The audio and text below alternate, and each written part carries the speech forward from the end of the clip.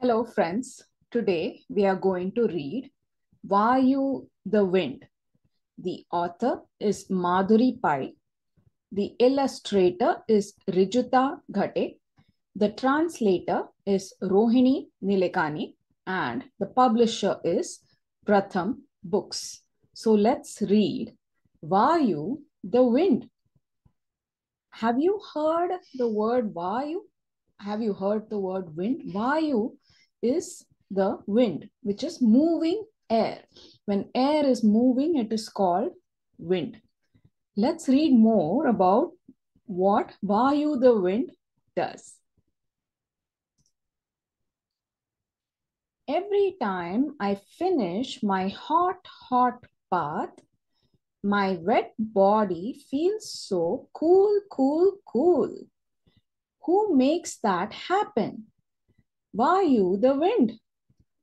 So what do you see in this picture? This boy is taking a bath and what happens to the water on his body when it is wet?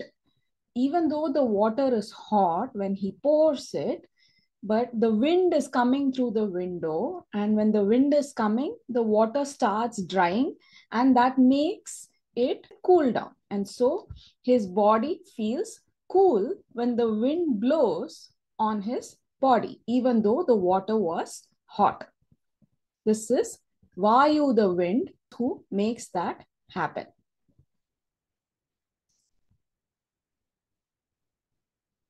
The milk in my cup is too hot, too hot.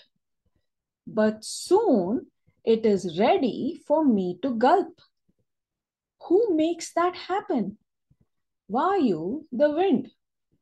So here, what do you see? This girl is sitting here at this table with a cup of milk and it is really hot. It's hot, too hot to drink.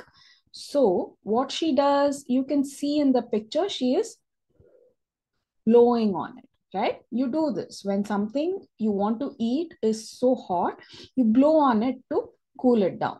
So how does it cool down? By Vayu, the wind, by blowing wind on it. The window curtains flutter and gently brush my face. Who makes it happen? Vayu, the wind. And here, what do you see? There is this open window and the curtain, and this girl is standing near the curtain. And when the wind is coming in through the open window, it pushes the curtain, it moves the curtain and makes it flutter, move quickly with the wind. And what happens? It brushes the girl's face.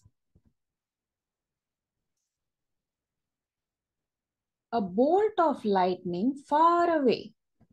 Black clouds moving my way. Who makes that happen? Vayu, the wind. So here, what do you see? There are a lot of dark clouds in the sky, right? And there is lightning. And who is this? Vayu, the wind. The wind pushes the clouds. So you can see sometimes clouds are moving in the sky. Sometimes what happens when there's a lot of wind blowing, the wind can push the clouds and make them go somewhere else. Branches sway and leaves tremble. Flowers gently fall. Who did it all? Vayu, the wind. And here you have this tree with branches and flowers. And what happens when the wind blows? The branches are swaying. They are gently moving with the breeze and leaves are trembling, shaking and flowers are actually falling. And this is because of Vayu. Far from the house, we are playing. Yet I can smell the sweets mother is preparing. Who makes it happen? Vayu, the wind. So here, what do you see? There are some sweets sitting on the table. This girl's mother has been making sweets. She is outside the house. The girl is outside the house and she can still smell the sweets. How?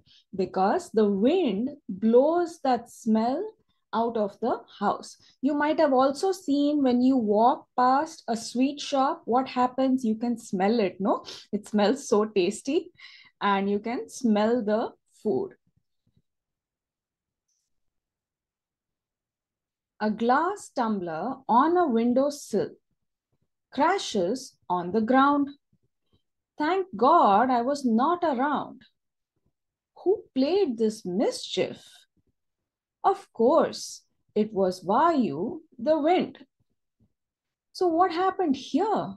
There was a glass tumbler on this windowsill and the wind comes in with great force through the window and when that happens it pushes the glass down just like the wind can push the clouds and push the smell it can also push the glass tumbler down to the floor and make it break and so who played this mischief it was vayu a whistle blows a train rolls in I cannot see, but I hear its din. Who makes that happen? Vayu, the wind. And here what happens? There is a train going somewhere far away.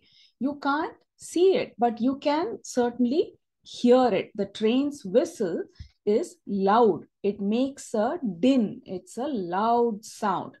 And how can you hear it? It's because the wind is carrying the sound with it towards you, towards these two children, and they can hear it. Cannot be seen, cannot be heard, does all the work without a word. Who can it be? So, who is this in this picture? who is not seen and not heard, but does all the work without saying anything. Who do you think it is? Can you solve the riddle? Of course, the wind. Vayu, the wind.